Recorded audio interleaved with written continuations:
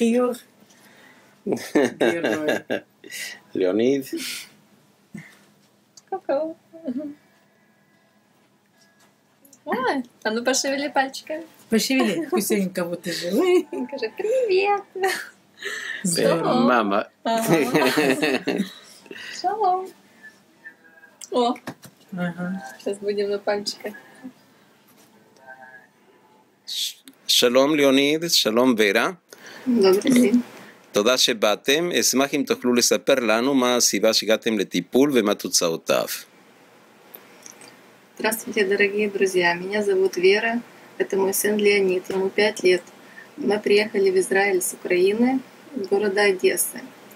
Э, Нашему мальчику, когда исполнилось 5, в феврале месяце, через э, месяц он э, внезапно заболел в садике. Ему просто в один день стало плохо, начала сильно тошнота, рвота.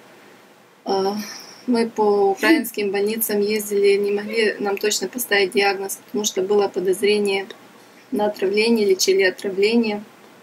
А Потом э, его общее состояние не улучшилось. Мы сделали ему компьютерную томографию, а, которая показала, что у него кровоиз- кровоизлияние в области мозжечка. Еще видно было какое-то инородное тело, но точно не могли поставить диагноз. Прилетели в Израиль. В Израиле сделали здесь диагностику, МРТ нам показала, что у нас медулобластома в области мозжечка. Мы начали лечиться в больнице э, в Тель-Авиве, в больнице Ихилов, где нам была сделана операция и было ну, предложено нам дальнейшее лечение, так как опухоль злокачественная. Нужно было нам пройти 31 день э, лучевой терапии и еще длительная химиотерапия. И когда мы проходили лучевую терапию, к нам подошел один из работников и предложил, э, что сказал, что есть в Тель-Авиве такой доктор Рикардо и его клиника, которая э, очень помогает, очень эффективное и очень безопасное лечение у него, так как это лечение, которое предстоит для ребенка, это лучевая химиотерапия, она помимо того, что убивает э, плохие клетки, но и очень отрицательно сказывается на в общем организме ребенка. Э, В тот момент у Ленчика были низкие показатели крови, общее состояние было низкое. Когда мы пришли к Рикарду, он посмотрел на Ленчика и сказал, что он ему поможет. Э, И нам предложил гомеопатию. Мы ее начали принимать. Э, Я заметила, что у него общее состояние у него улучшилось, он стал более активный, веселый, начал кушать хорошо. Показатели крови наши, э, при том, что лучевая химиотерапия их понижает, он- у него всегда они шли ровно, мы вовремя все процедуры принимали, у нас всегда вовремя э, все показатели восстанавливались. То есть и сейчас контрольная МРТ показала, что у нас опухоли нет, у нас все чисто.